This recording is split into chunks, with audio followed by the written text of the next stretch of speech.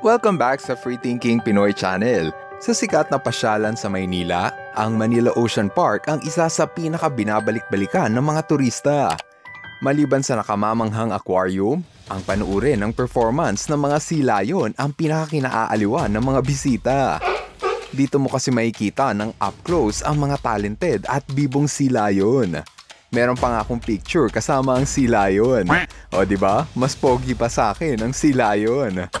Kahit sa ibang panig ng mundo, madalas talagang gamitin ang mga silayon bilang performer. Madali kasi itong turuan at para bang natural lang sa kanila ang mag-perform sa stage.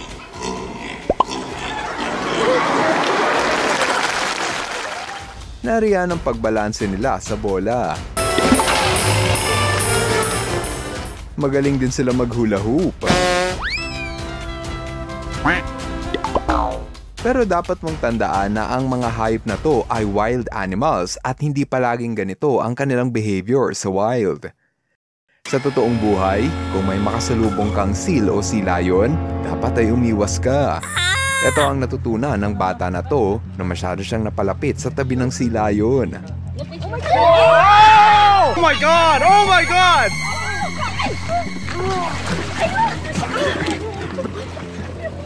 Ito naman ang lalaki na pilit hinahawakan ng silayon. Whoa! Kahit mukhang naglalaro lang ang silayon, mag-ingat pa rin sa hayop na to.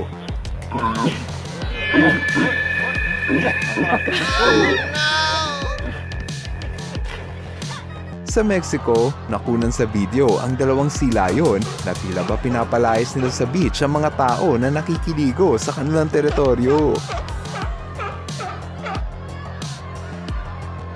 Palaging tatandaan na ang mga wild animals ay hindi maamong hayop na pwede mong lapitan at hawakan na parang aso. Sila ay mga unpredictable at hindi mo mababasa kung ano ang tumatakbo sa kanilang isip. Maaaring cute sila sa umpisa, ngunit agresibo pala. Kaya nga sila tinawag na sea lion dahil sing bagsik nila ang mga leon. Pero kahit nakakatakot nga ang lumapit sa mga seal at sea lion, hindi mo pa rin ang maiiwasan na makyutan sa mga hayop na to. Lalo na ang mga baby harp seal. Ito na ata ang isa sa pinaka-cute na hayop sa ating planeta. Maraming diver ang ilang beses na nakaengkwentro ng seal at magpapatunay sa pagiging maamo nito. Para silang aso kung makipaglaro at marahil ay curious sila kung bakit nasa ilalim ng tubig ang mga tao. Sa lupa, hindi na nakakagulat kung sila na mismo ang lalapit upang manghingi ng pagkain. Gaya ng silayo na to na tila ba namamalimos ng isda. Dito sa palengke sa isla ng Galapagos, ordinaryo na lang sa mga tindero kung may seal na umaaligid para mangdekwat ng libreng isda. Wow! Game na game din ang mga silayon sa picturan, may kasama pang dila. Kung ako ang tatanungin, medyo nakakatakot ang magpa-picture katabi ng delikadong hayop. Pero kung ikaw ang tatanungin, matatakot ka bang magpa-picture sa silayon? O para sa iyo, cute ang mga silayon at gusto mo rin magpa-picture? Let me know in the comment section para malaman namin ang inyong opinion. Kung nag enjoy ka sa ating kwentuhan at kasing cute mo ang mga seal, dapat ay pindutin mo ang like button sa baba ng video at mag-subscribe ka na din. Maraming salamat! Hindi maitatanggi na cute talaga ang mga seal at silayon pero alam mo ba na sa ilang bahagi ng mundo, ang mga hayop na to ay sinasaktan at pinapaslang. Ang balat at buhok ng mga seal ay sobrang lambot at mahusay na insulation kaya madalas itong gamitin bilang jacket. Sa Canada, nagaganap ang malawakang panguhuli ng mga hunter sa seal tuwing buwan ng Nobyembre hanggang Mayo. Sa mga araw na to, libu-libong harp seal ang pinapatay ng mga hunter. Andyan ang pinapalo at binabaril ang mga kawawang seal.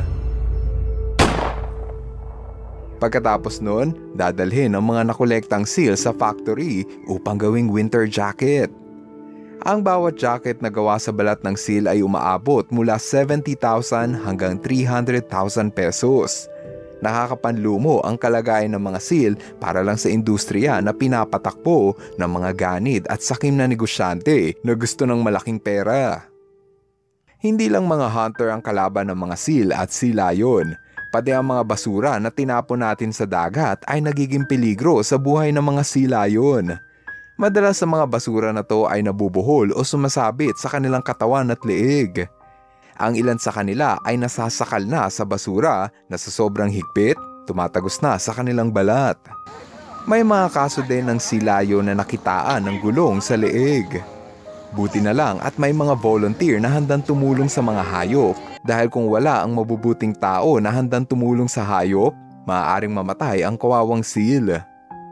Ang mga volunteer na to sa Alaska, USA ay masugid na humuhuli ng mga silayon na may fishing net na nakatali sa leeg.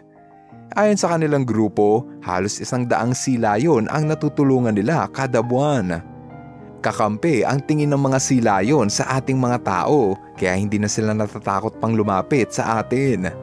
Tayong mga tao kasi ang may pinakamalaking responsibilidad na pangalagaan ang mga hayop.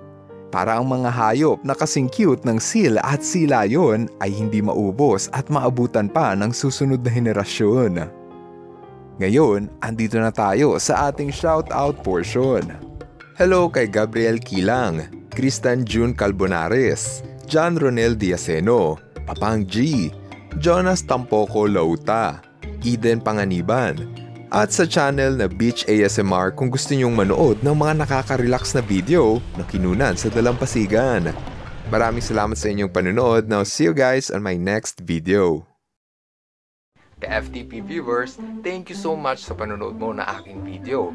Kung nagustuhan mo ang video na ito, subscribe na sa FTP channel. Don't forget to hit the bell button para updated ka sa mga bagong videos. Paalam!